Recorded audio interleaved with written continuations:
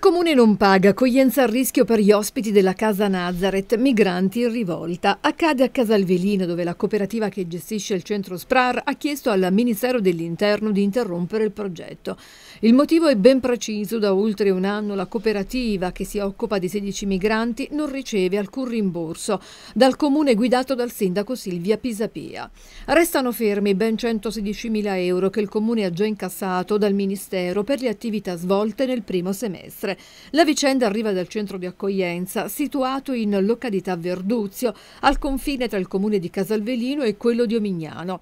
La cooperativa ha seri problemi economici ed è stata costretta a ridurre i servizi agli ospiti.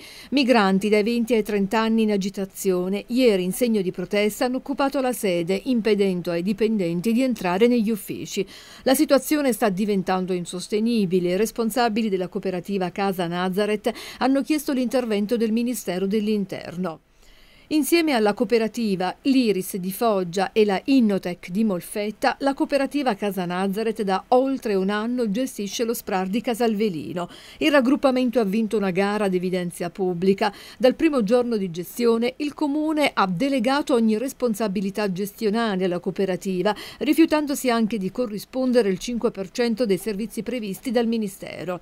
In compenso ha frapposto ostacoli di ogni tipo a corrispondere le competenze dovute. Carte alla mano, il responsabile della cooperativa, Claudio Lunghini, ribadisce che da sei mesi il Comune ha incassato l'importo di 116.000 euro dal Ministero dell'Interno per le attività assistenziali dovute per il secondo semestre 2017. Nel frattempo è maturato anche l'introito per incassare le competenze previste per il primo semestre di quest'anno tutte attività svolte in autofinanziamento. I costi per la gestione del progetto ad oggi sono stati sostenuti dalla cooperativa con l'aiuto degli istituti bancari, con la disponibilità dei fornitori ad attendere i pagamenti anche dopo mesi e con gli anticipi dei soci. Non esiste nessun SPRAR, dice il presidente della cooperativa, in cui il soggetto gestore si è comportato in questo modo senza dare alcuna spiegazione.